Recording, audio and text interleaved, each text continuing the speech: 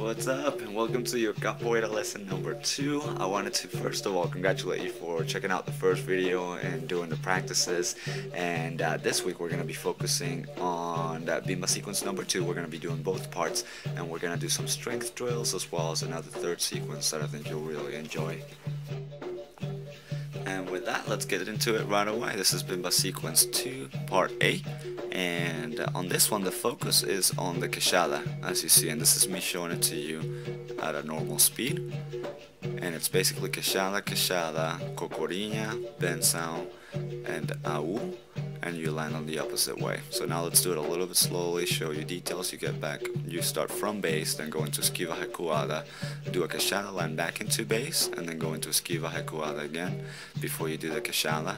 Then from there you do the cocorinha, you'll kick with the bênção, and you'll do the au in the same direction of the leg that you kick with. And again you'll land facing the opposite way because you're going technically around your opponent. So again you'll go into queixada, now notice here that first you land into base and then you go ahead and do the esquiva recuada before you do the queixada. A lot of times people tend to just go ahead and sort of mix that all up very fast but you end up doing it the wrong way and you expose your back a little too much.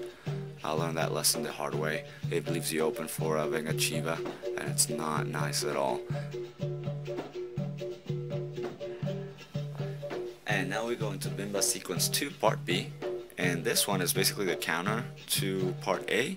And as you'll notice it goes Cocorinha, Cocorinha, contra armada. You protect yourself to get away from a kick.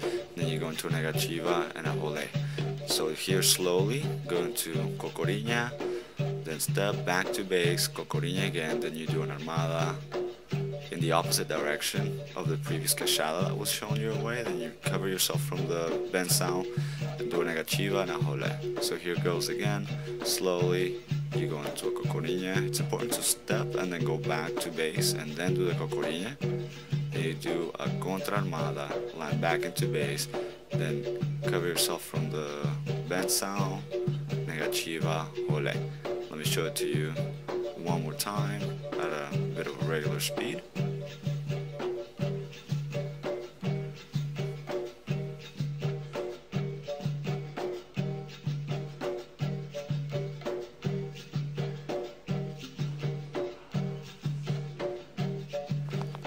So now let's go ahead and put them together for you to see how they interact with one another. And as you see, it starts with a cocorinha to get away from the queixadas. And in order to get the right timing, you have to step over, go back into base, and then do the cocorinha for the second queixada to come in.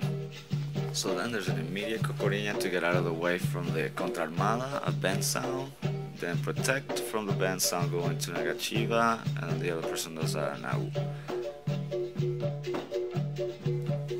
Here is one more time, just showing you the continuous sequences so it doesn't look too choppy. It's easier to understand.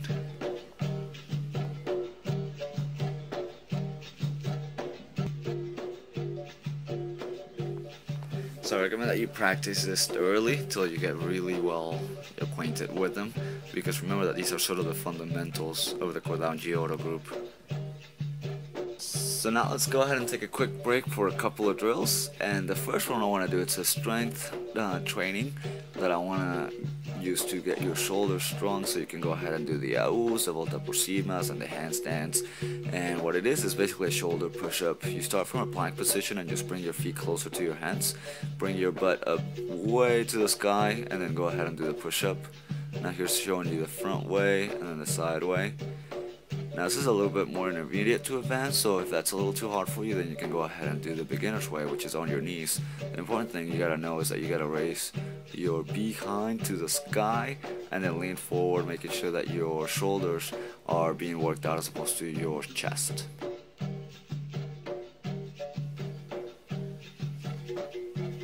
So what I recommend for beginners if uh, push-ups on your feet are a little too challenging is just to go ahead and do it on your knees. Do 3 sets, 8 to 10 reps each. Or if you want to go ahead and do it the intermediate way, then you can do it just a normal shoulder push-up. 3 sets, 10 reps each, and then just rest maybe about 30 seconds or so.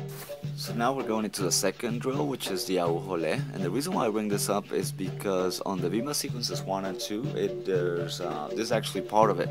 I just haven't added it just yet, but I want you to see it. This is me doing it at uh, normal speed and I think you may already know this but just in case and this is the easy way to do it so first you do an AU then you go ahead and crouch down then you go into a negativa and then you do a role now I'm going to show you sort of a progression so you can practice that and once you get better with it then you can go ahead and do the AU then land in the crouch down position then do a negativa and then do a role now yet another way that you can do it is you can go ahead and do the AU and as opposed to crouching down and then bringing out the leg you can just go ahead and keep it straight and uh, bring it on into negativa right away. And that's basically how you do the au role this is yet another way just normal speed for you to check out and practice it till you get comfortable. And next week I'll show you how to add it to the end of the bimba sequence. That and then the other side will actually do a cabeçada which is pretty cool So now let's get into the third and last sequence of the video, and this is one that I really like because it uh, uses some of the older moves, it adds a move that I wasn't too used to using before in a roda, and it's a good way to catch people off guard as well as it teaches you good reaction time and how to react to different kicks and unexpected kind of ways with that uh, resistencia at the end. So the way it goes, and here it is slowly, is first you start with a meia lua de frente avanzada, then you will go ahead and do a esquiva lateral, go into a role, and then go into a esporão from the bottom. Once you land, you'll go into resistencia, and the reason why that's put in there is to get away from a kick, and here's an example. So just to show it to you one more time, again, it starts with a meia lua de frente avanzada, go into esquiva lateral, do a role. Notice how I'm always looking towards the front, even when I'm doing the role and the esporão. Then you'll do a esporão landing base and go into a resistencia. The reason why I like this sequence a lot is because with that esporão coming from that angle, um, right from esquiva lateral, it kind of throws people off. It really catches people off guard, and it's a good chance that you might land a kick in somebody's face. not that you want to, but you at least want to scare them. and not only that, but also at the end, you'll have that resistencia, which teaches you how to receive kicks from an angle that you might not get used to if you don't have time to do a esquiva lateral or even a negativa. Alright, so this is the end of video number two, and I just wanted to give you a big congratulations. I know it takes a lot of discipline to train on your own, but it'll pay off, so just keep it up, and I can't wait to see the results later on at the roda.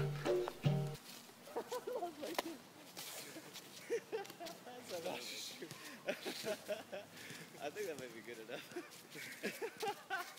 Can't tie your shoes, man. Let's go. We gotta run. yeah, we do. Uh,